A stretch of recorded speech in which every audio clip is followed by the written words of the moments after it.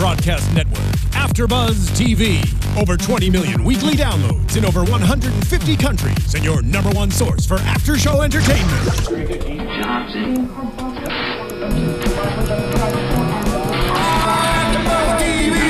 AfterBuzz TV, the destination for TV superfans, producing after shows for over 300 of your favorite TV shows, interviewing celebrities and showrunners, and bringing you behind-the-scenes exclusives. All thanks to E Entertainment's Maria Menounos, producer Kevin Undergaro, and internet leader Akamai. Now, let the buzz begin.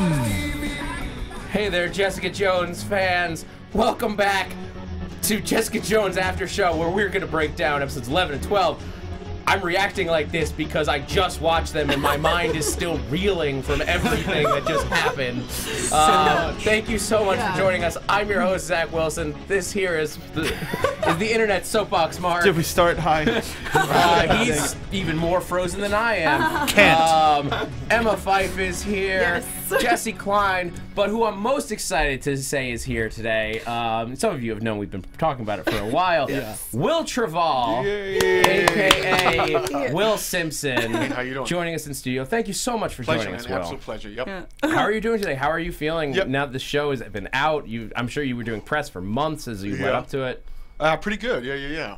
Right now that the show's out, great, Yeah. fantastic. Today I'm okay. I got stuck behind Star Wars traffic on the way here. That that is which a was- problem you'll run into. You know what? It's not a problem I'm worried about though. It's like it's coming. I know. it's hard to get mad at Yeah, it. yeah. exactly. Uh, al- exactly. although it's it's it's pretty easy to get mad at Will Simpson in these Oh yeah! Oh my goodness! Episode Um, eleven, especially. I mean, that was obviously a really big episode for Will, and both both eleven and twelve basically just like reached inside of my chest and ripped my heart out in in the most painful way possible because both of these episodes in the end were about you know these two great female characters Jessica and Trish and a major theme was the guys who they were romantically Yeah. attached to that's not really gonna work out yeah, I was trying to find a word to describe both episodes, and the only one I could come up with was just brutal. Yeah. like it was just, it was so hard to watch those mm-hmm. fights. yep Yeah, I mean the the fight scene as, as between you and Jessica. I, I remember while I'm watching it,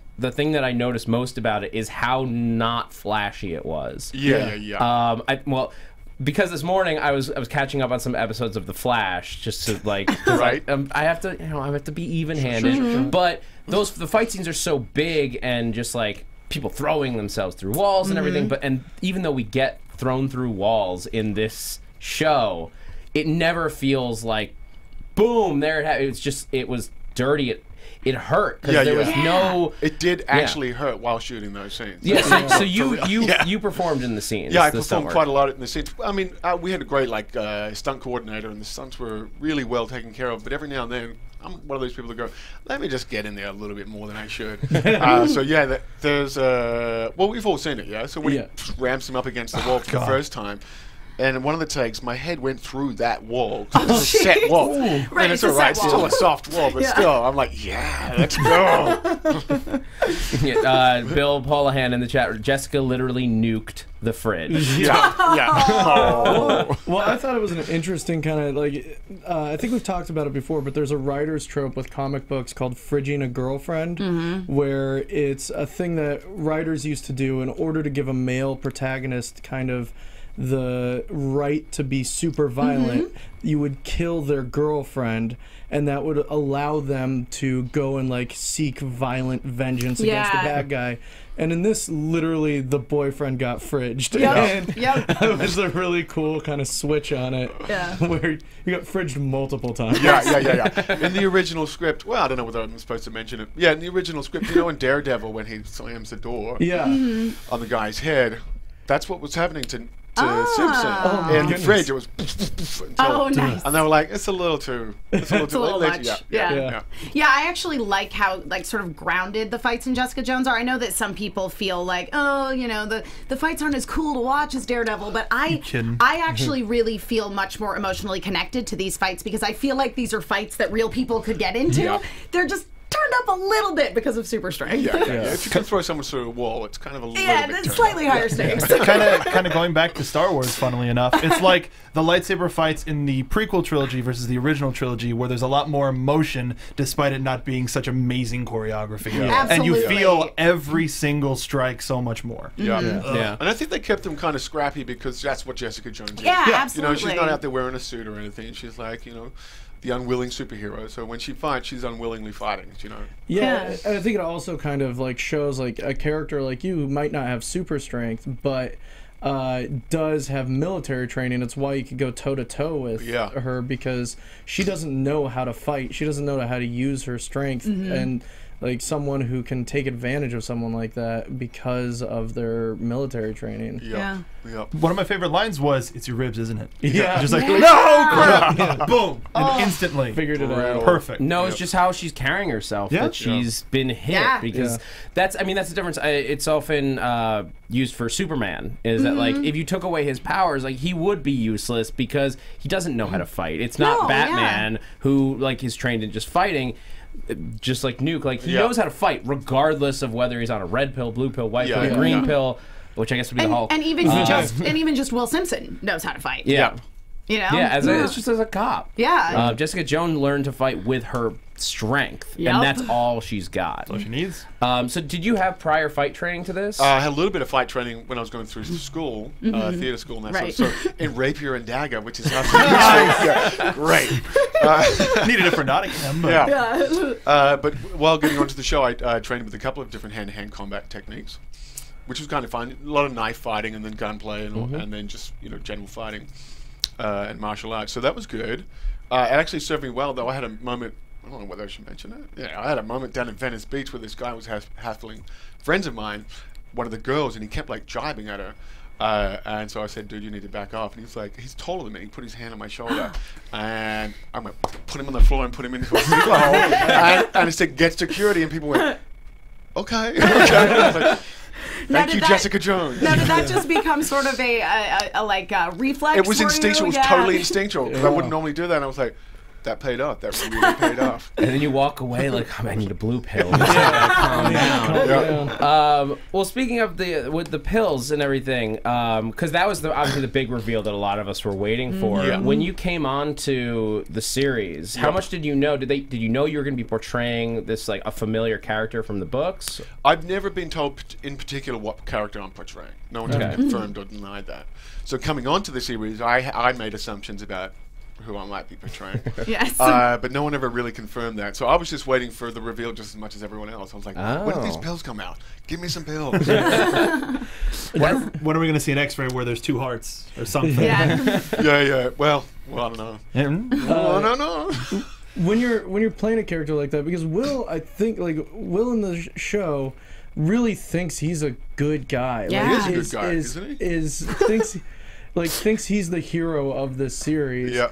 and like the pills kind of just hmm. exacerbated the bad parts of his personality mm-hmm. Yeah. like how what is it like playing a character that thinks he's so good but he's doing things that are clearly negative or he's beating Right. up two girls like Yeah, yeah, yeah. Well, that was oddly enough. There's not a lot of comments, like because Simpson does beat up Trish a lot, and there's a lot of talk about like the domestic violence and how Kilgrave is this weird, creepy ex-boyfriend. Sure. But there's not a lot of mention of how Simpson, in fact, is kind of like a domestic abuser, and and Yeah. so Yeah. which is weird. I guess maybe the way that we've played it, which is he thinks he's a good guy, people might have almost got convinced themselves as audience members going, oh yeah, you know, and kind of slid over those things, just as I think Simpson does. He slides over the idea that he does these bad things in order to get a good thing done. yeah Yes. So- yeah, definitely. Yeah. He definitely has an overdeveloped sense of justice Yep. in a the the uh, the end justifies the means Yeah, kind of way. I always figured he's a- Overdeveloped is a good way to put it. yeah. I always figured he's a good guy just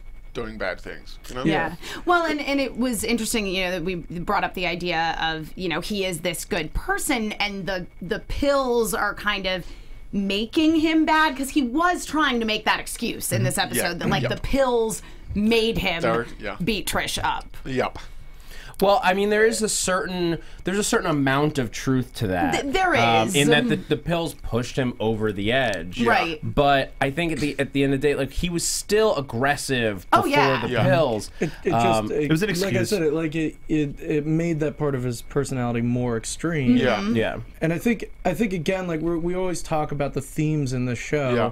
And I think the pills kind of also help represent like drug abuse. Yeah, and yeah. that- Or the alcohol. abu- You know, it's their analog- analogous of domestic abusers going, oh, if I wasn't drunk, then I wouldn't have done that. Yeah, Exactly, yeah, yeah. yeah, I definitely, definitely saw that analogy So that's, there. uh, in answer to the question, how do you deal with those sort of themes? You just, you, Yeah. you know, justify them just like that. You go, yeah, this is a good guy who is under the influence of stuff that li- kind of pushes his judgment. Yeah, and I mean, yeah. and that's something that we see with a bunch of characters in the show because you know, going back to you know Malcolm at the beginning of the series, he is this very good, you know, sort of altruistic, honestly person. But mm-hmm. when we first encounter him, he's a useless drug addict, Yeah. and and you know. So we're definitely seeing how how circumstances and and quite specifically substances affect you know good Yeah, Well. I mean, And- we see with Jessica during uh, episode 11 about how it affects her by pushing herself too much. She's, Yeah. all she's doing is drinking and not sleeping. Yes. and that that affects her judgment in quite a negative way. And it, aff- I think, I think a lot of the themes of the show are showing how Jessica, how she is dealing with the abuse, is even if she doesn't realize it, is still forcing her hand in a negative way. Yeah, I mean, the thing that I, I thought was most interesting about the the whole thing with the pills and everything um, was it it, it, never, it always felt real. Um, the, Yeah. the the switch, the way that it affected you, um, and the performance. And I want to ask you a couple questions about that in a, in a moment. But like for me, it like to open up a little bit like i've i've had like i was diagnosed with adhd as a kid. And so i've been uh, they i've used different medications and i made them ta take me off of it for like about like most of high school and middle school and all that. But the feeling that you get when you take those kinds of uh, pills, like especially as an adult, and I'm more aware, is very much that way. Is everything is heightened and it must get done now. It drives you, and you just it. Whatever task you're on, it has to happen, and hmm. it can. And I, I, this is when I stopped taking them. When I noticed this, is that if you're in a, especially a work environment, and mm-hmm. things are not getting done, it emotionally messes with you where if you get mad at all it makes you mad for the rest of the day regardless of whether things get fixed or not and i Yeah. thought that there was a lot that i saw in your performance Right. there so i wanted to ask like, did you take a different approach when you're playing will on the each like on the pills versus before the pills Yeah. and how you how you uh, went into this role Well, how I prepped sense. you, yeah. yeah Um, particularly when we got to the pills, because the pills, I'd had, uh, I had an impression of what the pills were going to be based on who I thought in the Your Marvel- character was. who I character was.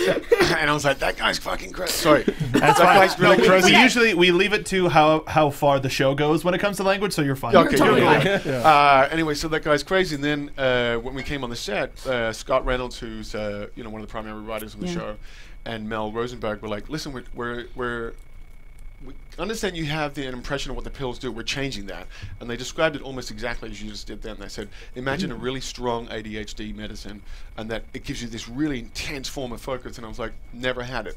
They're like, "You haven't?" I was like, "No, I haven't." So, uh, so I, my approach to that was to investigate. You know, and I went online and watched a bunch of people who'd taken those pills for you know, for their uh, for, own, for their own illnesses and what the effects were, and so followed that path. And then I just drank a shitload of coffee on set, then, because normally before before he got to the pills, Yeah. very interactive on set. Like between takes, you know, there's I don't stay in character. I'm not like method or anything like Yeah. that.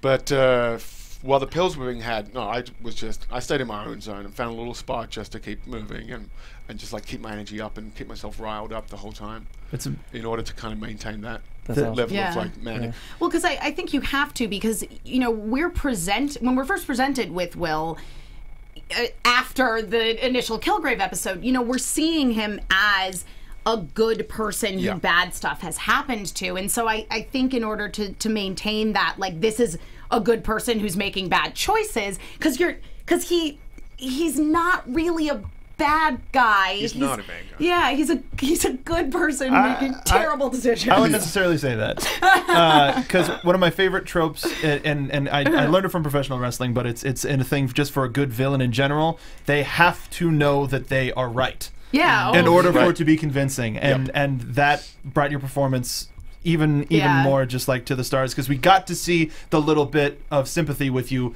post Kilgrave, Mm-hmm. and yet bringing up the description of how how you feel on the ADHD medication he is addicted to the to the feeling of having that urgency of getting something done and Mm-hmm. Kilgrave brings that uh, need for addiction back which puts him back on the pills Yeah. Yeah. Yeah. Whoa. Yeah. You notice he was really reticent to get back on that Mm-hmm. program. Especially, I think there was an episode four when he beats up Malcolm in the middle of the hallway. Mm-hmm. Yep. And, she, and he's like, listen, I know how to deal with this. And you see him kind of struggling with the idea of what he's going to do next. He leaves.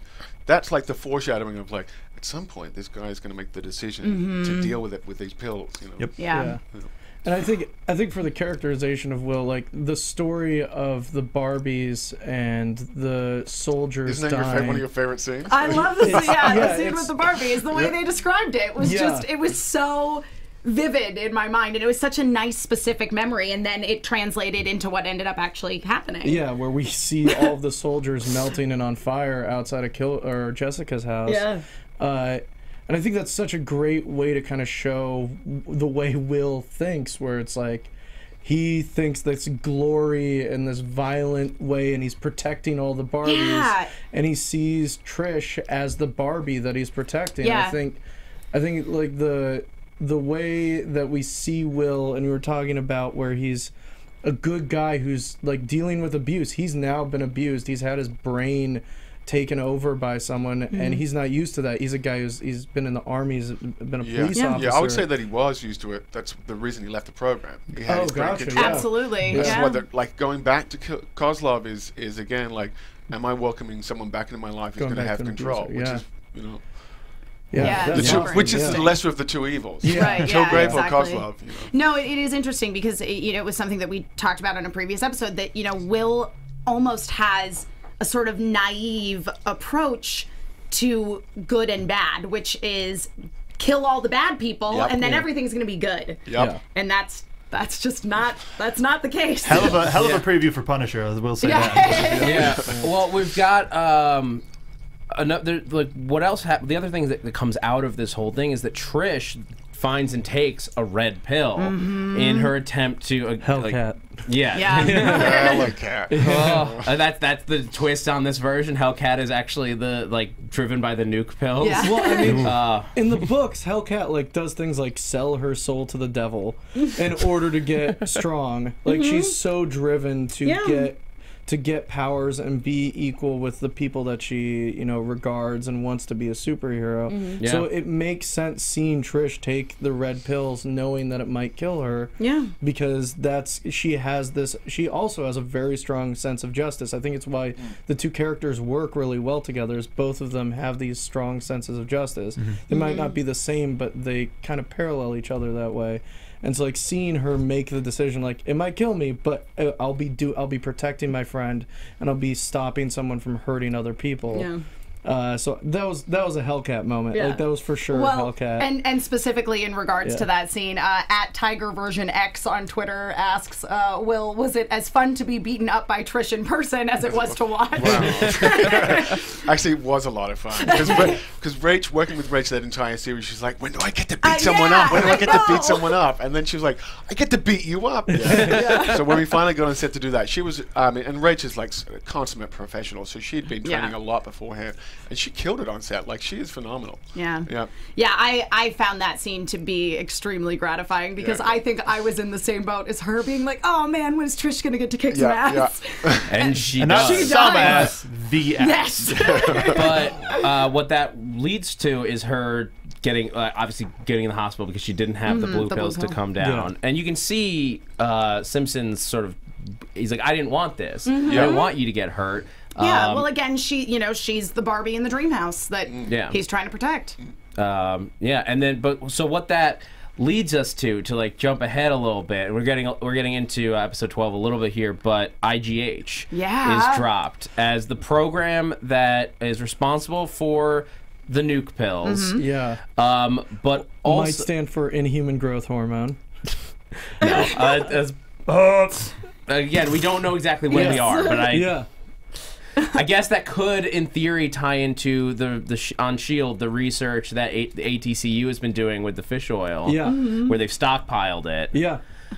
Oh no! yeah, Because in the comic books, MGH is responsible for a lot of superheroes being accidentally made and stands for mutant growth hormone. hormone. But because we're in the MCU Yep. and there aren't any mutants, Mutants. and they're using Inhumans as kind of a placement for mutants. It's a good yeah, catch. I, Good catch. It's Good definitely theory. a possibility. I do think that might be a little more connected even than Marvel usually is going to do because Yeah. it's such a big thing to rely on. Yeah. Because like there, I think there is a, there isn't as much crossover. There's plenty of crossover, but there's not as much as they would want to tie that big of a thing between Shield and the Netflix series. For sure. Yeah. Um, but I think IGH is absolutely coming back to play within the Netflix world because it seems that they are the ones most likely responsible for Luke Cage. yeah. Um, the, and so potentially, who knows how many pot like fingers that are like pots they have their fingers the in, whatever first phrase thing is. the first thing I did is as soon as I saw IGH, as I went back to Daredevil one to see if IGH was written on the truck, Oh, for Oh, the. yeah. which it was not. oh, Okay. man. But I still hold the possibility that whatever was in those barrels that made Daredevil Daredevil is uh, something that is dealing with IGH. And Yeah. I still I think that might be if they're gonna tie all of these like Netflix worlds together, it's a great way to kind of put them all together. yeah, I mean that's just, like, I mean, that's me. Most episodes, just like there's so much. um, but it stands to reason. I mean, Luke Cage, we know like in both of his book, comic book origins and now in the show, Yeah. um, from what they revealed earlier in the series. That he was the product of an experiment. This series, Jessica Jones, Yeah. especially, has dealt with a lot of what happens when you experiment on people and then and the re- and like the real world Yeah. like consequences of Yeah. that. And, and obviously, and that's a big theme here. Like now in Marvel, we, in comic book stuff, we get the consequences mean super people running around like throwing people through walls. Right, Yeah. right. Um, but they're also in real life. They're real world consequences. So I'm Yeah. glad that the show looks like they will absolutely deal with it. and We're getting it here as well. Yeah. That Yeah. There are there are issues when you just give people go pills and Yeah. send them on the Yeah. streets. Um, but so uh, l- let's um let's talk about Luke Cage a little bit. We have to. when okay so like at the at the like i guess it was towards the end of, of uh i've got the blues it just i like when those texts your boyfriend from unknown number Yeah. and just panic and like it Well, was oh And I and I want to harken back to a really nice moment because one of the things that I really really enjoyed about episode 11 and I think it's part of the reason why it wasn't quite as difficult to watch. I mean, it was difficult to watch, but I feel like some of the previous ones it's been much more sort of gratuitous violence. Um, and this episode was a lot about the relationship between Trish and Jess. And it was about, you know, their backstory and just, you know, them working together and, and Jess always trying to save Trish. And then Trish ultimately came to save Jess, which was amazing. But one of the things, there was a nice scene between them where uh, uh, Jess says, Oh, I can protect the people that I love. And Trish's response was, People? People, yeah. There's more than one? Yeah. And Jess is like, There's just one other. And that just stabbed me in the heart. Yeah. yeah. And of course, it was Luke Cage. well, seeing like the entire episode, I was like, oh, they've got a connection. There's Yeah. like there's still stuff going on, and seeing Kilgrave be mm. like, that was all me. I Yeah. wrote it It's all. me, uh, i mean that is great. every Yeah. everything that from sexual passion, that was all me. Like that makes it better. Yeah. Like, oh no, that was me. You like me now, right? Yeah. Because it was all my idea. The- well, and What that, an ass. and that was exactly Kilgrave's attitude he towards real it. life was. he real life catfished him yeah, it was. Uh, uh, but everything from the moment the bar blew up, Yeah. like was just like, in, especially when you rewatch it, knowing what's happening is just so much, just like Oh, intensity. it's awful. Because I mean that moment, like you blew up, and I'm like, well, Luke's gonna be fine because fire's Right. not gonna break his mm-hmm. skin. Yeah. But like that, but when he walks out on fire. Mm-hmm. Dude, awesome effects, man. and he was still Yeah. smoking throughout the whole time. That was just like he looks like he is on fire. Well, and it was and it was so painful to watch because a- as I was watching episode 12, I was thinking, "Oh man, I'm so excited to like go into the studio and talk about this great Luke Cage Jessica team up and they're really connecting and you poor soul. cool. Nope. Yeah. I mean, Just- it was it was a misdirection the whole time because the second Oh, they yeah. got into the bar when everything was purple, you're like something's wrong. Yep. Something's Yeah. immediately wrong Yep. here. Yep. We- we will be scared of the color purple for a long time. Dude, I wanted to use it in my wedding, and I'm like, forget that. No, Because- I already used it at my wedding. Well, because even in the scene where Jessica was going around to all the morgues and she ended up at that like place that maybe used to be a morgue and she passed out because she'd just been running on whiskey and no sleep. Mm-hmm. When mm-hmm. she woke up, there was that haze of purple lighting. I was like, oh no, what's gonna happen? We're gonna get another lick. Yep. Oh god. And I would like to say that our prediction was right that that we were seeing Kilgrave trying to upgrade. And my favorite part was when we see the kid that he says good. stand there forever, and we see him more than twelve hours later. Like if you're paying attention, because my thing was like that's way more than twelve hours. What I wrote mm-hmm. down, it's like that's way more than twelve hours. So if you're paying attention, you can see that like the upgrades worked Yeah. and that and that Luke Cage could still possibly be under his like his control. And it was like when that reveal happened, and he just came out of nowhere and punched her. It was like so that fight was more brutal than your fight, Yeah. which was a brutal fight. like more more walls destroyed, Yep. lots of things thrown and broken. Like just so like seeing those two superheroes go at it was like I was like okay well there there's the budget like it was it was amazing it was really well done and That like shotgun. worth it. That shotgun is. the shotgun Ugh. That I was can- horrific. I mean, just the, the fight between the two of them was so intense. Not just because I mean, the fight itself was intense because because you've got they're these two very powerful Yeah. people Yeah. throwing each other, but the idea of being attacked by someone you care about, and I did have this moment of watching, and I'm like, this is the dark, twisted version of Scott Pilgrim. Uh, like they're in a concert hall. my there's an gosh, X on the stage, and another X Yeah. is being used to to fight her. Yeah, and and and you know, you touched on the shotgun moment, but like that final moment when you, you know she is holding the shotgun barrel Yeah. up underneath his head, and and he says to her, you know, do what you need to do.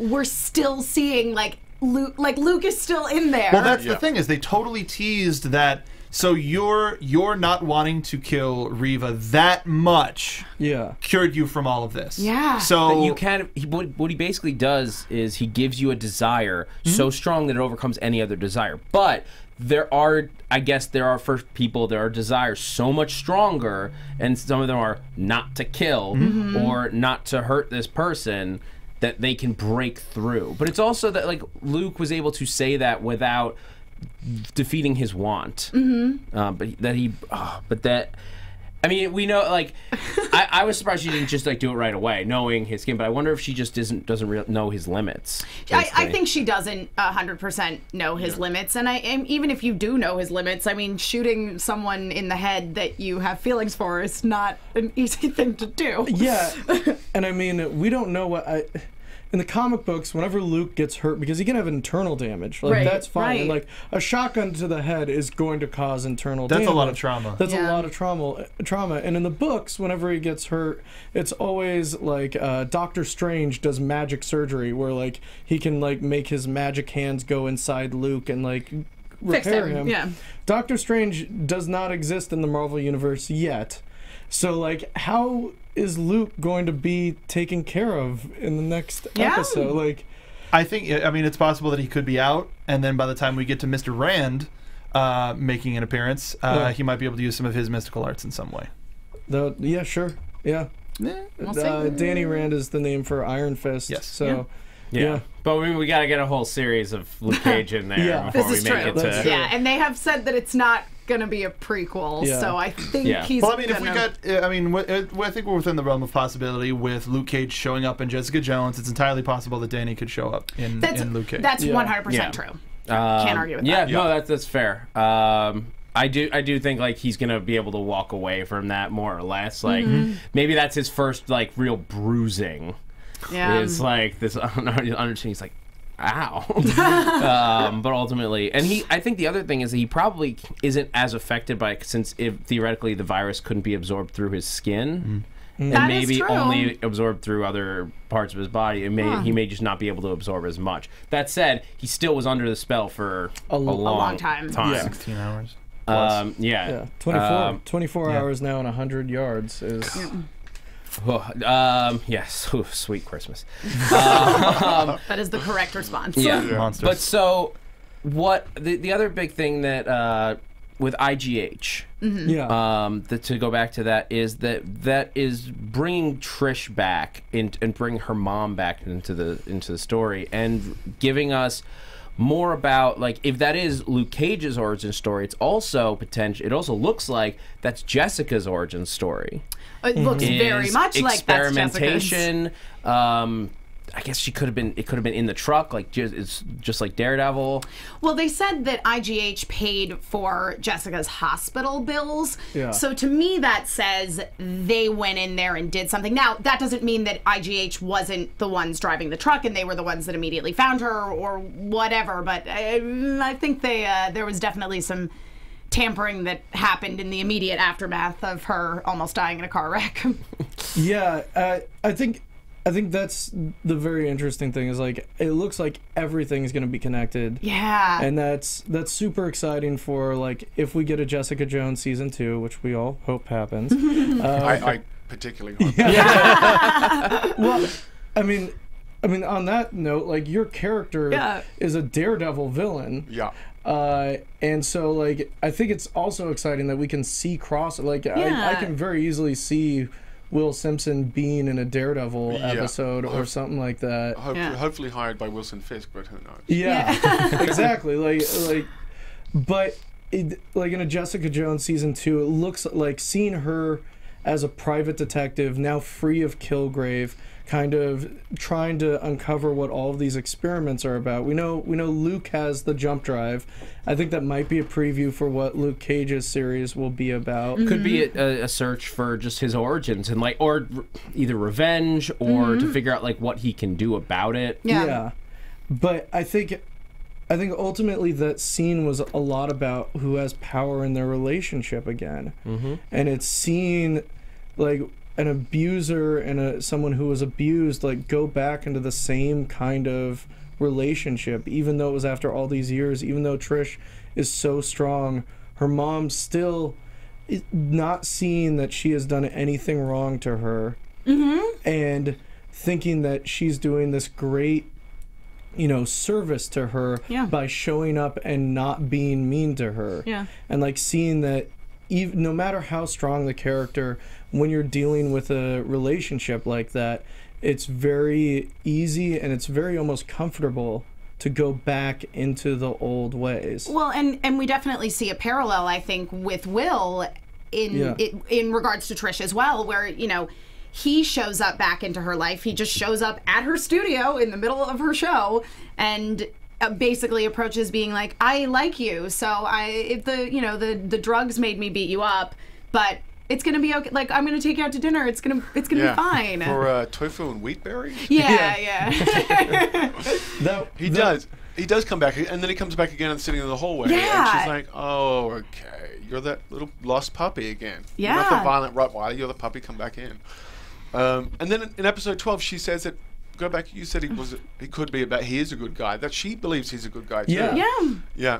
And she does believe. You know, there. When, sometimes when you're abused, you believe the people abusing you are a good person deep inside. If you can just get get through it and un- uncover that. So. Yeah. Yeah. Well, and I think that some of that could also come from the fact that she did have such an awful relationship with her mother that I, I think some of it is denial on Trisha's part that she could have gotten herself into another relationship wherein she is being abused. yeah Well, I guess that's the that's the real struggle is that I think in so many times in these cases, and especially in in the part of Will's character, is that and, and uh, Trisha's mom, like you see it when she talks about like Yes. How good is Rebecca De Mornay as the mother? Oh my God. so Holy Groovy. moly. twisted and just like but like but Twisted that, and evil. but in, but in that moment where she says you need but y- it's like she's like screw you for pissing on money when the Yeah. rest of us can't get any.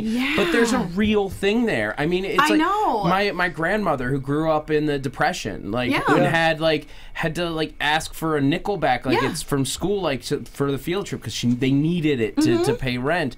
Um, that's a very real thing that people Yeah. have to deal with. So it, there is a good intention in there Right, and well- that's the thing is like in in my like optimistic worldview where I want to think everyone is ultimately trying to do the right thing, trying to be good. You're Yeah. the real hero here. Even in even in an in an abusive relationship, that they just want like both people to be in a good scenario, but like have no concept of what is right and what is wrong in mm-hmm. order to achieve that end. Yeah, you're Yeah. Malcolm. You're Malcolm on the on the on the panel, dude. Also, with her performance, there's something so maternal about how she plays that character.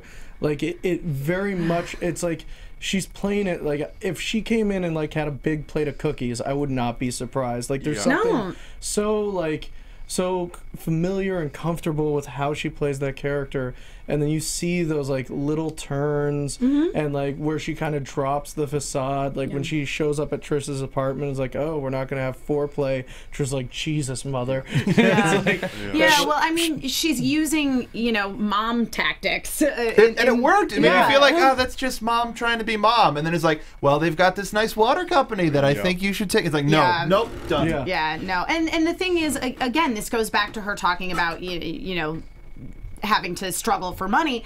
That she thinks that all of these terrible things that she's doing, and I I would hazard to guess she felt the same way all through Trisha's childhood Mm-hmm. when you know she was for that awful scene where she was forcing her to throw up and That was uh, terrible. Yeah. you all them call you fatsy? Yeah. Yeah. Uh, She the- was trying to do it. But again, but again, she has this idea that well, I'm doing this for the greater good because we we were in this tiny one bedroom apartment, and now look at our lives. Look at what I did for you. Look at what I did for you. Exactly. That, that moment where with the yet with where we're yelling and we're seeing her trying to force Trish to to throw up, like for, forcing Yeah. bulimia on her daughter.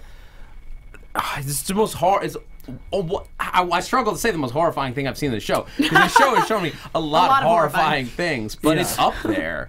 Um, and I and I think that's why Jessica snaps from like the. I know you said not to save you, but I'm gonna save you. yeah Um, and that moment is really, I think, when Trish becomes like, or that's like that's the first moment in the Trish becoming Hellcat saga that I'm hoping we get Yeah. over time, if not in this series. yeah. yeah Um, because like that's when she sees what somebody can, as as somebody who is saved, she sees what it's like to be saved and what something she wants to do with herself. Yeah. Even though she doesn't have the She wants to share that feeling. And I mean, I think that's why this show is so compelling. Is all of the villains, including Kilgrave, have something about them where you can see there's a redeeming quality, and you and you want to root for that goodness in them. And like when you go to Trish and you say you like her, and you're like, I have, and obviously I'm back in high school. Yeah. Like that that moment was so endearing, and it was like, oh, this guy's a good. guy. We're rooting for this Yeah. guy. Yep. and then double tap. And then Yeah. well, then immediately, like, I think like two lines later, you're like, "So where's Jessica? I really Yeah, need yeah, to yeah. find Jessica."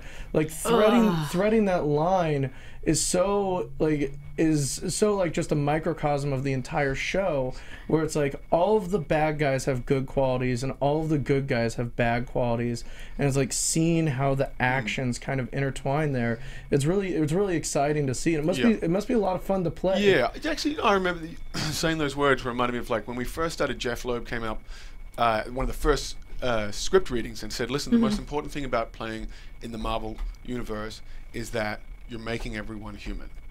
No matter who Yeah. you are, always ensure that you get to the human side of being being one of these characters." That's So oh, I think, that's- that, I mean, that's Yeah. the Yeah. driving Perfect. focus behind Yeah. every one of these shows. You're like, okay, well, that makes so much more sense now. Everyone's real. You That, know? yeah. Yeah. that's the thing is you look at these characters and you go, I know that guy. Yeah. And then the pills, but it's like, Yeah. it- it's very, very grounded, and Yeah. It, yeah, your performance helps add to that so much. I mean, that's Yeah. part of why I think we've connected so much more with Marvel mm-hmm. shows than anything on television, not comic book or Yeah. comic Just in real, general. whatever. Yeah. You want to be, you see these people as like Yeah. uh, the people next door. Yeah. Yeah. I hope you can move. Uh, Yeah, yeah, yeah. yeah. I think Those Marvel, people you live but next Marvel is like taking the place of like classic literature or like old fables and old Yeah. myth. Is Yeah. that it's civil education. It's Yeah. like here's these great enormous situations where we as humans, this is something you might be faced with. You know, it, it might be an allegorical way of telling the story, but this is a way of letting us know how to be a human in this kind of situation. you Yeah, know? and I think with the with the Netflix series in particularly, they present this sort of brutally honest Mm. look at humanity. Yeah. Yeah, uh, especially Just this one is definitely an uglier side of humanity. Yes, Yeah. yes. Uh, like it's weird to, to compare Daredevil and Jessica Jones beside each other. Which one's more brutal? Which one is harder to watch? Because Yeah. there's sometimes like in Daredevil, it's like oh somebody's eye went through a post, whatever. uh, where this one, it's like he didn't do that to her. That's no, Yeah. like Yeah. no. yeah. I mean, this the the the, the thing with the garden shears. I was going to say makes, that's the most brutal. That's the most brutal death I've ever seen. Uh, yeah. Everyone's just like covering. Mark's covering his ears. I- Jesse's covering his eyes. I covered my eyes. There, Yeah. I watch this. I watch this series usually. Like anytime it gets really intense, I'll like have my hands ready to cover my eyes. And in that scene, I was just like, nope, can't watch. I was really upset about the Oh. HD. I was like, I could have, I could have used a lower quality. I didn't need to see it. it it it hurt to watch, but it's a it's a testament to the to the, the writing on the show, Yeah. like the way that he like makes that Kilgrave makes him kill himself. Like it's not just this guy's gonna die. It's this guy's gonna die and send a message about the mm. brutality he's willing to unleash. Uh, uh, just around people that Jessica follows, let alone interacts with. Yeah. Um, yeah, it made the, the thing with the with the eye and the post and Daredevil Well, I mean, it, seem tame. and it also it also made the blender scene so much more intense because it's like you've seen like we've seen Kilgrave is still like it was a good reminder that Kilgrave is willing to do something brutal. And then we see that blender scene and it's like oh man he could just make his dad blend his hand. And it, it's he's completely capable of doing something that gruesome. And like how nonchalant he is about it. It was like "Mm, nice boat. Anyway, Dad, put your hand in the blender and turn it on. And it's like, I And know, there's a I know you guys haven't seen the rest of the series, but there's there, it gets more brutal. Damn it, son of a biscuit. Uh, yeah, and we'll be talking finale. Um, just so that everybody's aware, we'll be talking the finale on Wednesday, this Wednesday, uh, December sixteenth at three p.m. Yeah. Pacific Standard Time. Finally Um, yeah, we'll all be watching it as like tonight. when do we wrap? Um, so, uh, but, but uh, just uh, to touch on the other the part of the story we haven't we haven't gotten to yet. Um, Malcolm, Yeah. Malcolm and Robin in these episodes had uh, a gr- had a great if little storyline. Hell of a Yeah, story. yeah. well, I feel like a lot of people uh, in our chat kind of uh, were very violent towards Robin and very angry and vengeful towards her. Why is that? And be- I don't. Because her, her I, because because the last we left off was Oh, she- her hitting Oh. Jessica in the head with a board Oh, and and kind he, of she has a captive. Yeah, yeah, freeing that- Kilgrave. that's one of my Damn you! She has a captive. You've seen that probably in novels and Yeah. books, and Yep. you've just been waiting to say that. Yeah. But because her performance is so aggressive, Yeah. it's so easy to Yeah. not get behind that character. Yeah, and it, Despite her trauma. and we get we get and I get how frustrating it is, but it's also this show is mostly about how people deal with abuse. Yeah. And like she is showing up, she's lost to her brother, knows her brother was killed. Uh, She herself is an abuser. and she herself Yeah. is an Like, abuser wow. and like uh, con- controlling her brother keeping him and now she has lost that control and she's seen what it's like to lose control for the first time so it's very it's very easy to see that this was an example of just how other people deal with it jessica kind of internalized her mm-hmm. abuse kind of shut herself off Robin made her she needed control again. Yeah. She needed to find a way to gain control again after losing her brother and Yeah. what she did is she found a bunch of people who are used to being controlled and controlled them. Yeah. Mm-hmm. Like it's she is a frustrating character but she is also a victim in this show. Yeah, and also an accurate portrayal of how some people do react to trauma. Yeah. and it and mm-hmm. it was really interesting, and, and we've been seeing it a, a bit throughout these episodes. But you know, in in the most recent episodes, she was basically paired with Malcolm the whole time, and it was so interesting because their their responses are so opposite of each other. Mm-hmm. And yet somewhat similar in that Malcolm is also like leading the the Kilgrave support discussion, but he is doing it in a very positive way, whereas she is trying to, you know, take control of it. Yeah. the, the the the scene that they had sorry um, the scene that they had in uh, on the street Yeah. where it's like ah this is bu- like oh this is all crap why do you even believe in people and it's like the moment i stop believing that people are, are good and can change is i'm i'm gonna kill myself mm. Yeah. that that made her immediately realize what the hell am i doing Yeah. and it came full circle when he didn't give up on her and came back for that for Yeah. that chord Yeah, and and that was such a great scene because you know Malcolm was on the verge of giving up on he was giving up on Jessica. He was going to leave, and then when he heard the fight in the hallway and he went and he didn't give up on Robin, like it just. I really like Malcolm's character a Yeah. lot, specifically because he is so optimistic and nothing like he goes through so much shit. he is almost one of the only purely good characters. Really in the show. good isn't he? characters on the show. And it's the only one my sister is in love with. She was like, I don't like anyone in this show, not even you, except for Malcolm. Malcolm's the best. By the way, did anyone else? I in such a sad show, but I laughed out loud when she was like.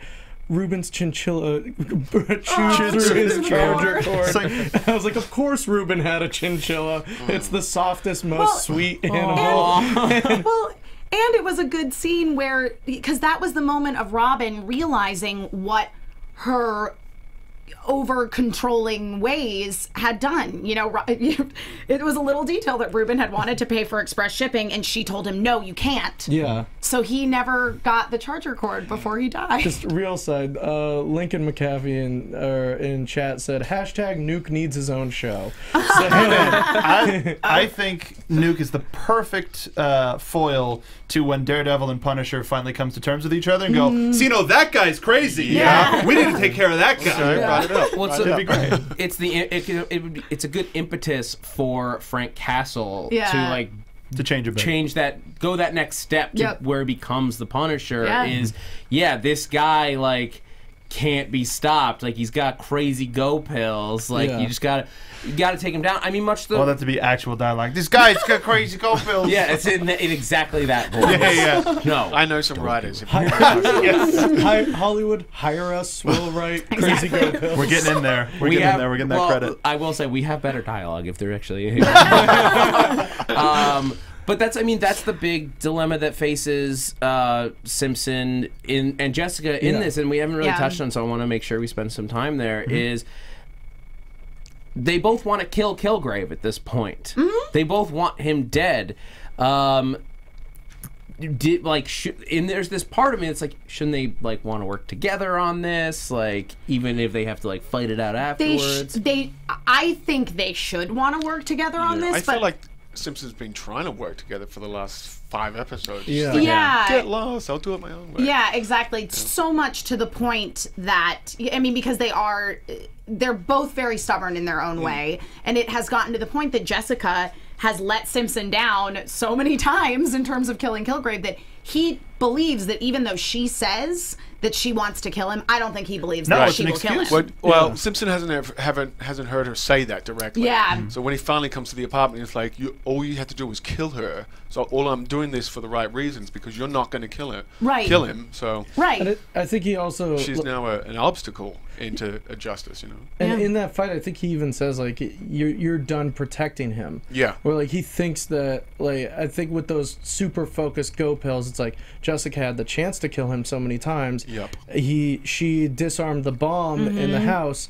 She is still Kilgraved. She's still working Yeah. with them. Mm-hmm. It's She's the same reason in episode ten that he pulls a gun on Clemons. yeah. Because Clemons is like, no, we're going to take him and get serve justice. And you're like, that doesn't work. The guy will get out. He'll Yeah. be dangerous. yeah. If you're going to be in the way, then you've got to be eliminated. Yeah. the the impetus was so Yeah. strong. That's why I felt that that Simpson and Jessica was going to be the big final battle as opposed to Kilgrave because it was so strong that Kilgrave was going to be an afterthought. Yeah, like, yeah. Yeah. Mm-hmm. no, you didn't do it right. Like, or something was Right. just couldn't didn't sit right.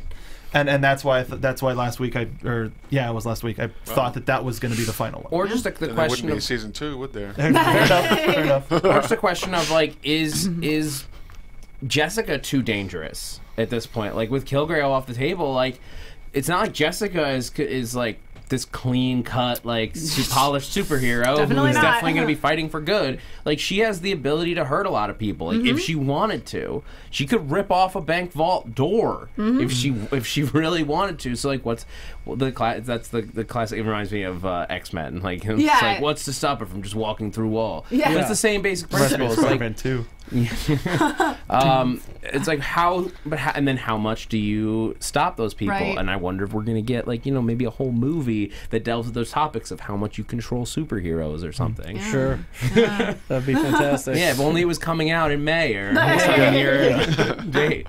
Um, but so when you go into the role, like how, like obviously you come in and the scripts are given to you, but do you guys like? How much do you see as they're building it, or do you come Very in and they little. just, yeah, it's they give you very secretive. Even like when the auditioning process, the first time was a really generic script Mm-hmm. with not even character names on it. Well, I think he was called. Uh, uh, what was his name? John Sampson was the character, and it didn't ref- didn't refer to any other characters. I didn't know what the show was about, uh, so they keep it secretive, and you're just like it's piecemeal, and it's like, it's like the information you need right now is the information you get Right. and then also just play what you got. You know, there's no like they don't let you know where the character's going, where Right. the series is going. So mm-hmm. it's it can be frustrating, especially from my my theatrical education, which is like when you deal with a character, you know, you build a character in terms of arc Yeah. and storytelling. Mm-hmm. And then when you're on a show like this, they're like, you don't know the arc or the storytelling. Just Yeah. do what's on the page there and there. Yeah. do So Do, I was gonna say though, though, with them basically giving you sort of page by page and piecemealing it all together, do you think that you bring some of your general, your genuine immediate reaction to what you've just I think- discovered into the character? I think that's the, that's that's the key. Is, is that you now develop a new technique to go. If you only play like in real life, you only know what's happening right now. yeah. Yeah. I can fantasize about what might happen, Sure, but and I'll play for it. But yeah, Yeah. So it does. It kind of does bring a nice reality to every scene and every you know every new episode. And as Simpson developed, and I got to learn more and more new things about him, I was like, oh okay, factor that in. And I think it actually contributes to the characters so. Uh, Mercurial, you're like you never know what Simpson's up to. Yeah. You don't know whether he's good or bad. It's because no one really does. you Yeah. know, as he goes along the path. What, what do you think Simpson's fantasy is? Like, what, what how he would want the series to end? Uh, I think he wanted to end really quick. He wanted to during that Yeah. kidnapping is Yeah. to take him out there and then. He was foiled then, and then foiled every step after the way when he went to the house to blow, blow Kilgrave up. And like every step of the way, he was like, "All I want to do is kill this guy. Yeah. just let me do the right thing. You know, Yeah. Yeah. the right thing in his mind is death. Yeah. How soon into the sentence. process uh, of, of making the show did you realize that you were a version of uh, That I may have been ba- that I may have been based on a particular Yes. character. Once I read the name Simpson, I was like, "Hang on, is it this guy?" And then I asked a lot of people on the production, and they're like, yeah. But is it more more like I don't know, more like uh, "Uh, no. oh. There was one one producer was like, who, who behaved that. It was like, "Oh, I don't. By the way, did you But guys? here's some comics you should read. yeah, read Daredevil, read Wolverine. By the way, did you guys notice when Jessica or no, uh, when Trish woke up, she had the American flag uh, slate like uh, shadows on her She face as well. didn't. She uh, she 100% did when she. When she when she woke up from uh, taking the red pill, she had the stripes on her head just like Will did when he woke up the first time as Like well. with the uh, like the um the lighting. In the Yeah. ambulance, Yeah, in the they- they- hospital. In the hospital, they, that might they have been an it. accident. beautiful accident It was- it was because it because it, wa- it did happen in both scenes. It then. happened. I didn't notice it this it time, almost but paralleled both. Like Will was in a much brighter thing, and it was like the the light doing it, and with her it was like in this dark kind of orange shade, and she had like blatant American flag on her face. Mm. Yeah, it was. I was like, ha, awesome. That's a lot of the show. Ha! Just sudden surprise and heart attacks. Yep. yeah, yeah. Um, but so, some other uh st- stuff people are have been asking in the uh, the chat. Um, uh, Haywood W uh, wants to know who your uh, favorite was uh, person was to work for, and then like what character do you think we, you wish you had more screen time to sort of play with? Like, Oh, Kilgrave without you know. Yeah. Yeah. I mean, we got the couple of scenes actually working with um, David was phenomenal. The guy is, I mean, he is the most genuine, beautiful man on set. Anyway, and you're like, you're the best villain, and the best villains always are those really nice guys. Yeah. Uh, wish I had more screen time with him. Uh, really enjoyed working with Rach, Rachael Taylor, Yeah. and I'd known her from 2002. We Oh, met, wow. we met at a, uh, a Christmas carols. Oh, I, I was hosting a Christmas carols. I used to be on television back home in Oz. And uh, she just started on a television show and she came up and I was like, hey, how are you? She got up and sang Jingle Bells or something like that and left.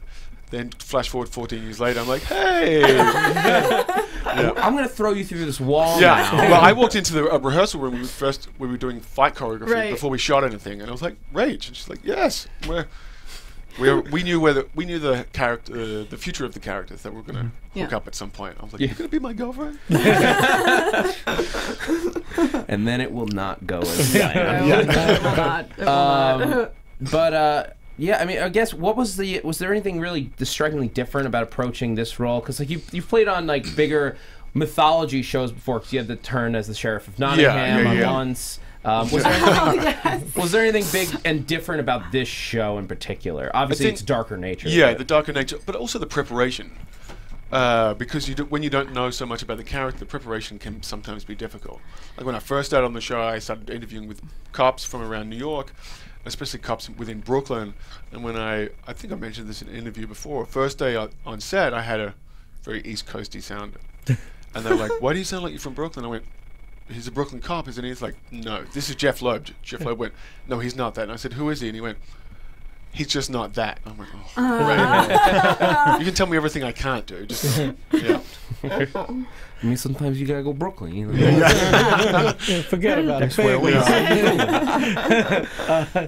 But I think it also, working on this show, the level of secrecy too, yeah. and the level of like protecting the story and the world from audiences getting to it before they really should. You know, Yeah, it's, it's like yeah, a Christmas present. It's like, don't rattle the box yet. You know. Is- I mean, is- you're, you're telling us because we we've been doing the show sequentially, couple episodes by couple episodes. So everybody's been like, "I can't wait for you to get to this," and we're like, Yeah. "Shut Yes. up, we're not Shut it there up. yet." Yeah, yeah. Is, is there something intimidating being part of a bigger universe and like characters that are so beloved by already yeah. millions of people? Right. Is is there an intimidation with that? It is definitely intimidating. When I suspected it might be the character we all think it might be, Yeah. um, then that's when I, I freaked out at that point. I was like, hang on, I don't. I mean, if you look at the guy, Yeah.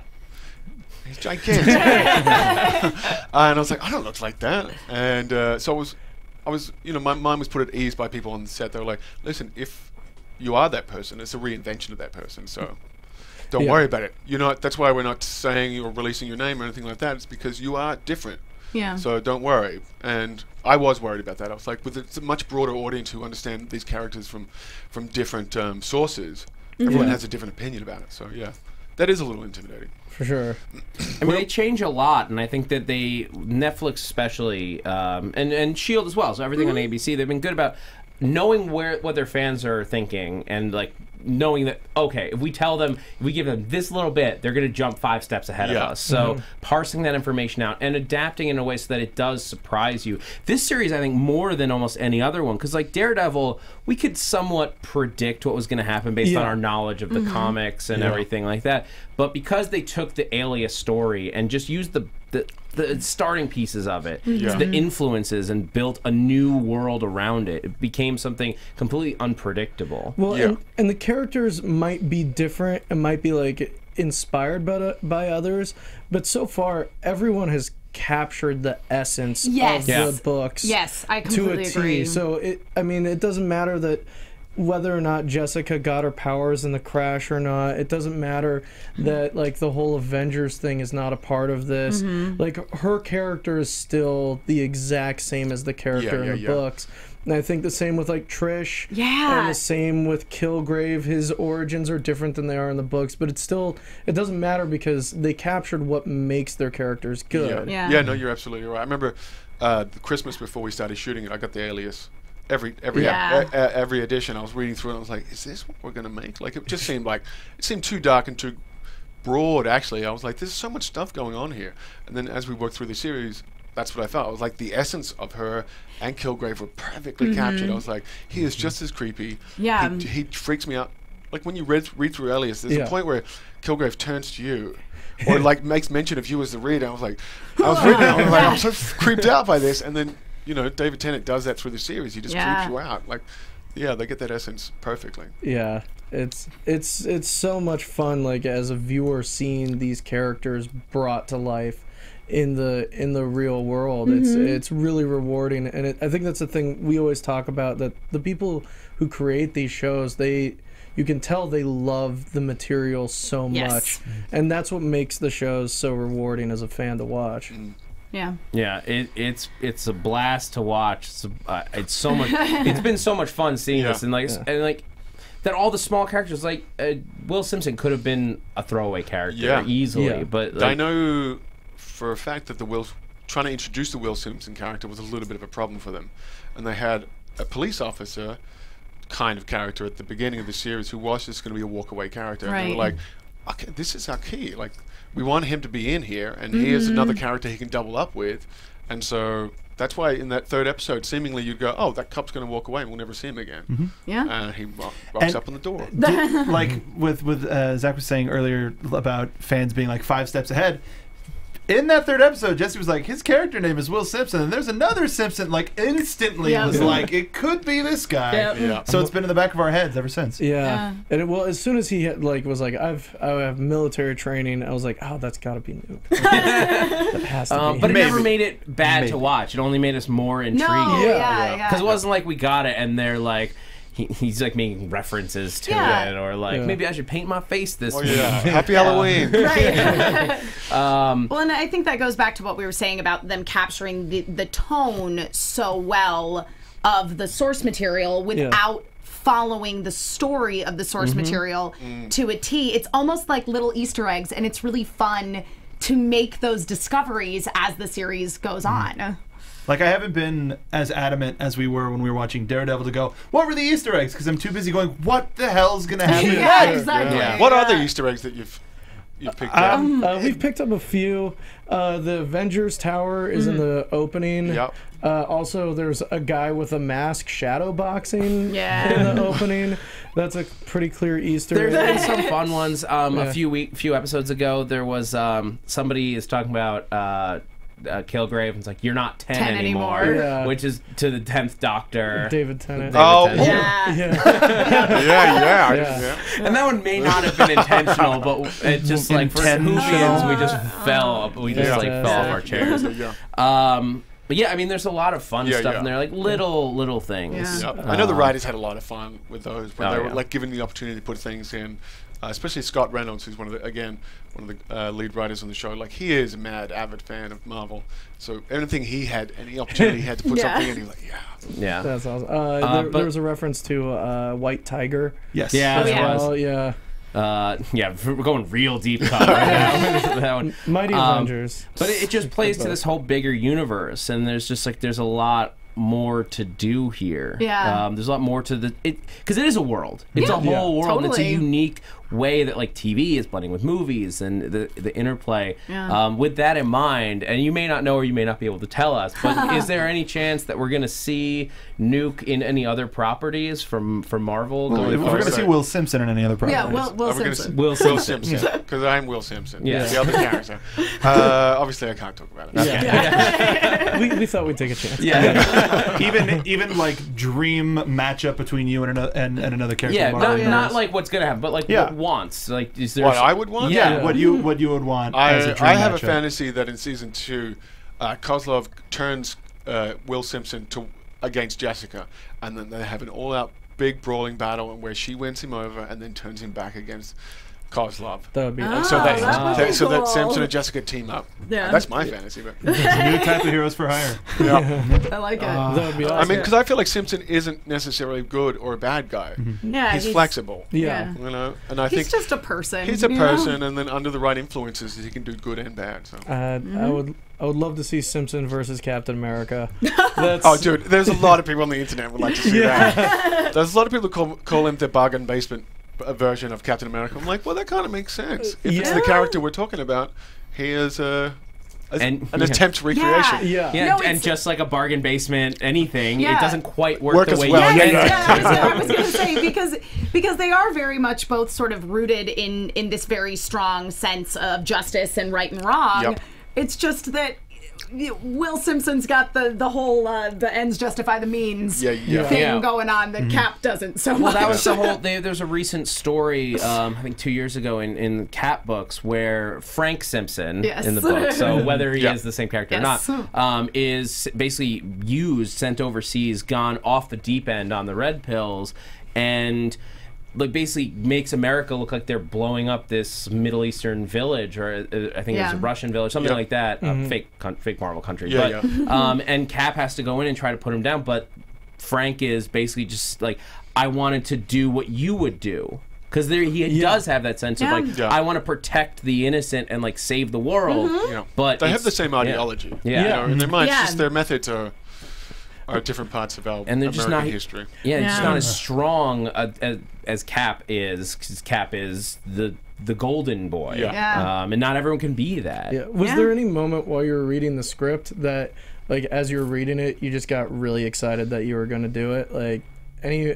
Oh any- yeah. yeah. Are there any Oh. times when you didn't get excited? yeah. The entire script. Yeah. Uh, I was excited by the idea of blowing something up and walking away. I mean, as cliche as that is, it's like there is No. a little spot in every actor's, you know, little heart going, Yes. if I get to blow something up and walk away, that's great. it's pretty cool.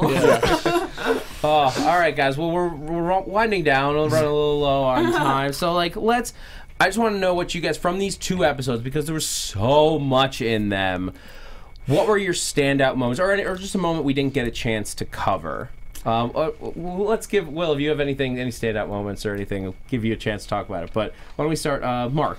Um, I would have to say, like, as as awesome and uh, advancing of the story episode eleven was, the "It's all me" was was just the the dagger and the twist and the pull it out and the put your hand in a blender and then take the knife and put it in your back. Like that was that was the thing that because he got all of us. He got us all Yeah. uh, and and and that that's the sign of a really good villain, of a good writer, of a good performer, and of a really unfortunate following scene. Yeah, I was totally blindsided by that moment. I, you know, I uh, I loved the scene uh, in the hallway at Trisha's apartment when Will showed up and those the two other guys from IGH showed up and they're like, "Hey, we gotta we gotta take you back," and he's like, mm, "I don't think so." And that was a, it was a I liked the the switch for Trisha in that moment where she realized, no, this he's not coming back from this. Yeah, you don't come. It's hard to come back from like just two, just right to the face. yep, yep. And no hesitation either. Nope. That was the thing. Just turn around, blat blat, Double done. tap. Yeah. uh, for me, the the goodbye to Ruben was Yeah. really really stands out to me as like an amazing way. To, like the show is so good at controlling like the energy and like the rhythm and like that Ruben goodbye was so Yeah. important in that episode, and like. The talk of Zodiac, which is a loaded word in the Marvel world, but the talk the talk about like being able to forgive and like kind of the philosophy behind these side characters pushing the heart of the Yep. show when like the main characters are not i think was really important and i really enjoyed it Yeah. Um, the, the- one of the parts that I, I really that we didn't, didn't get to is like well, you're when Luke hears you're free of him because of Reva. Yeah. And I know that he's technically under control at that time, but his reactions are still genuine. Yeah, I think even if so. like his overall like he's gonna get Jessica to go to Kilgrave is still there, um, because especially when somebody dies in what you perceive as an accident, Mm-hmm. Yeah. or they get caught up in something like Reva did, or as Luke perceived Reva did. The the search for giving their death a meaning Yeah. is such a huge thing, and so I think that that as it made it made it hurt so much more when they when they had the turn that the that his like That it was I forgive you was was not genuine. Yeah. But uh, the idea that he could potentially forgive her because of because like at least her death meant something. It Yeah. helped someone, so her death wasn't just nothing. yeah Yeah, that's Um, true. It, it, it was it was this tiny line that just had a huge weight on it. Yeah. it. sure Uh, so, Will, did you have any any favorite like moments from shooting? Any great Uh, f- well, actually, from stories? those two episodes, um, when uh, Trish is in the back of the ambulance, and uh, Jessica says you have to go be a hero, and she goes, "I learned it from you." And the two of Oh, them look at I'm yeah. like, because that whole episode had been establishing, you know, that, Yeah, that yeah. relationship, and I was like, they're just. these two girls love each other. They Yes. just, they struggle to admit it. You know? Yeah, and well, and that's and that is one of the things that I really enjoy about this show is it is this very it in its in its weird twisted way it is this very positive portrayal of a very real female friendship. Yeah. Mm-hmm. yeah. Uh, you know they're they're not mean to each other. They don't talk shit about each other behind each other's backs. Like there is a real bond between these two women. Yeah. And at the Oh same my- time, there's no moment of them like eating ice cream. Yeah, like, it's not like, exactly. "Oh, boys. Oh like, wait, Right. wait to episode thirteen. No. focus soon. Closing shot. Two girls eating ice cream. all, of, all of episode 13 is them just watching rom-coms and talking about boys. Yeah. Oh, that was so. I But no, in reality, in episode 13, there was a very touching moment. Okay. Yeah, well, not we're a looking spoiler, forward but to it's it. looking forward to it. Um, uh, just a few more like questions from the from the chat roll. Um, this was uh, something I noticed too, and I thought it was very interesting. Uh, Angela McCain asks. Um, first of all, she says, "Great job." Um, uh, did w- did you read the books uh, and? Did that? Well, we already talked about that. But did the um, the repeating of phrases, like where you said "good," Yeah, good yeah, yeah. twice, um, which I actually was because I'm watching it on the internet. I was Right. like, "Wait, did my thing?" but rewatch, like knowing that my internet was broken. Yep. Um, it was it was so good because it felt like you felt the programming of it there. Um, was that something that you brought to it, or was that, that was from the something that? Scott Reynolds again came up with. He was like, uh, he found a reference to it in the comics, and he was like, "Oh, I've seen some repeating of words." And I was like, "So how do we explain it?" And he goes, "I think there's a reason to explain it within the comics world because of the internal structure." Mm, yeah, yeah. But uh, in this, it was just like, no, no, your brain's just kind of it's in hyper hyperdrive, Yeah. so it sometimes slips or might repeat itself without you being aware of it. So the important thing was not to be aware of it. Like, Yeah. it just let it repeat so that the people around you might pick up. Which is, you see it when Jess is, you know, feet up on her desk, and she's like, when I say good, good, Yeah. Yeah. And it's- Yep. And, and actually, that I, that's a trigger. I would say that that last scene between the two of you before the fight was one of the most tense moments because of how you were playing against each other. yeah. Just that was a tense one to shoot too. We were Yeah. like. We knew we hated each other at that point. We're, like, we're just here. We're here to fight. Let's just Yeah. uh, let's get the small Just talk get over to and fight. yeah, and Throw uh, out, throw down. to sort of re- end on a uh, uh, end on a more ridiculous note. Do we have uh, to? Our uh, our very own uh, uh, Yell Teagle uh, from AfterBuzz sent in her favorite moment from the season. Uh, her she says uh, favorite parts from the season: Simpson going down on Trisha. those scenes. Fair call. Fair call. But now you know everything you need to know about Yale. That's Yeah, basically pretty much. her essence. Uh, yeah. She's actually on her way to the studio, leaving comments in the thing. Yeah. um, but she's been a big fan of the of the series. Everyone has. I mean, I think your character's been a fantastic part Yeah. of it. Such Yeah. a good addition. I had, I was worried about doing the count. I was like, people are going to hate this guy. But it turns out people either really like him or really hate him, and there's nowhere in between, Yeah. which is kind of like the perfect result. Yeah. As an Yeah. artist, you're like either hate it or love it, but Yeah. don't sit anywhere in between. So, yeah, Yeah. I had such a thrill playing the character and like bringing him to life. Whatever we brought to life, Yeah. uh, and being part of the show was great. So, yeah, well, I think we're pretty happy with the result. No, it's Yeah. great. It's great because watching the show and knowing that you were coming in, I was like, I don't know if I'm going to be able to look at the guy. um, but it it, it helps just that I don't have the same accent. Uh, yeah, Yeah. yeah, I did say, oh, good. um, but it, you you've brought so much to a character to make us not necessarily just go, oh, he's that, but to hope. Yeah. Good. Here's Yeah. here's a guy that that we're gonna see fleshed out more, and to have you left there and dragged out to see what more can come from your character is really exciting. Yeah. Yeah. And Yeah. and I'm beyond excited to see what's what's Yeah. what's to come for you in the Marvel universe. Yeah. yeah, Yeah. thanks. Um, so Marvel Thank you. Universe or otherwise, do you have anything else that you're you're working on now that you're? Uh, no, we just, I mean, we're just reading through script. We're trying to find the right project that makes the most amount of sense right now. Awesome. Uh, so there's a couple of things that we read through, and yeah, well, once we find out, we'll let people know. I mean, I'd, But beyond honestly, that, just wait for season two. I'd be, I'd be super happy for you to come back as sheriff of Nottingham on once. Just 'cause, uh, Yeah, it's a lot actually, there are a lot of there are a lot of Once Upon a uh, fans calling up, going, "Bring the sheriff back now. We Yeah. want him back now." Yeah. He's Yeah. one of the few side characters that stays alive. Yeah. So This it's like, true. oh no, you can totally bring him back. Yeah. why not? yeah, uh, one of our fans, Alicia Perez, just like, was it fun being on, on Once Upon a Time? Like, Really funny. Yeah, Yeah. actually, it was a lot of fun. I mean, can you imagine? I mean, you're walking around in, in fairy tale land. Again, Yeah. it's like walking around in comic book land. It's, Yeah. a, it's a lot of fun. Yeah. You Well, take a cask of ale, like Yeah. of course, Robin. uh, well, it's been a blast having you Yeah. in the studio. thank you so Um, much. Key word there, blast. Jeez. Oh, Watch Watch your tone. uh, whatever it is that you've got next, whether it's Marvel Yep. or otherwise, I look forward to seeing it. Um, where can everyone keep up with you? Twitter, Instagram. yep. Uh, in the meantime, Yes, then? you Uh, can where, do. Where can they find you? Oh, at uh, it's at Wil Traval, isn't it? Yeah. Everywhere. Yeah. Yeah, pretty much. Or Wil Traval nine is Instagram, I think. Okay. Yeah. Okay, Yeah. great. You want to make sure that all the listeners know. Yeah, where exactly. Yeah, exactly. Yeah. Um, and so un until uh, until this Wednesday when we recap the finale, oh, I'm so excited and I'm sad that it's the that it's like the end for the foreseeable really future bum- until Yeah. we get Daredevil next year. Yeah. Um, and see who comes back for that. Uh, But until Wednesday at 3 p.m. Pacific Standard Time at AfterBuzz TV. Yeah. Jesse Klein, where can everyone keep up with you? Oh yeah, you can find me on Twitter and Instagram at Jess Klein One. That's J E S S K L E I N the number one. Also, I'm doing live comedy all around Los Angeles. This Wednesday at the Pack Theater, you can see me doing a sketch show with my team Haymaker. So if you're around, come watch it. Uh, and I am Emma Fyffe. I can be found all over the internet at my name, Emma Fyffe. And I tweet a lot, so if you follow me on Twitter, you'll know about all of the things I'm doing, like the many shows I do here at AfterBuzz TV. Uh, I'm the internet soapbox Mark Donica. You can find me on Twitter at soapbox Mark. Uh, we're doing an episode of Video Game Movie Anatomy about Wreck It Ralph because we wanted to do a good video game movie. Also, uh, Star Wars is coming out this week. I don't know if you've heard, uh, and we're doing a special Jedi Alliance on Friday Friday night. Uh, so follow me on Twitter for more on that.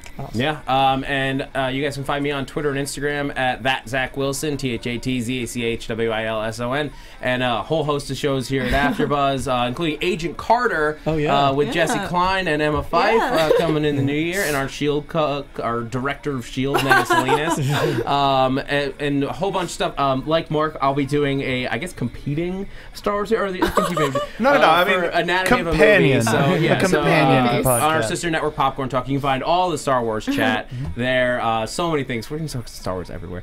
Um, but guys, until Wednesday, 3 p.m. Uh, I'm Zach Wilson. Thanks for geeking out with us. From executive producers Maria Menounos, Kevin Undergaro, Phil Svitek, and the entire AfterBuzz TV staff, we would like to thank you for listening to the AfterBuzz TV network. To watch or listen to other after shows and post comments or questions, be sure to visit AfterBuzzTV.com. I'm Sir Richard Wentworth, and this has been a presentation of AfterBuzz TV. Buzz you later.